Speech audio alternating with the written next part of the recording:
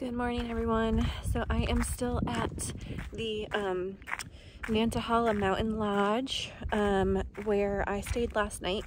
Uh, I got lucky and a bunk opened up in the bunkhouse due to a cancellation.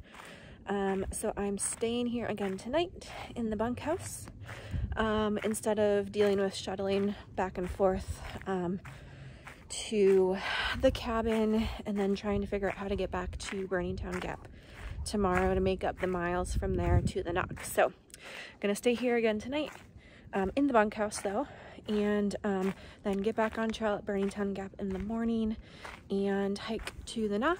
Tomorrow night I'll um, shuttle into the cabin with the group and meet up with them and then get back on trail at the NOC.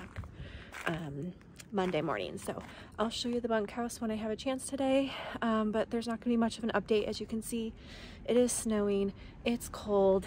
I've got sandals on walking from the main house down to the bunkhouse. Um, so I'm gonna go get warm.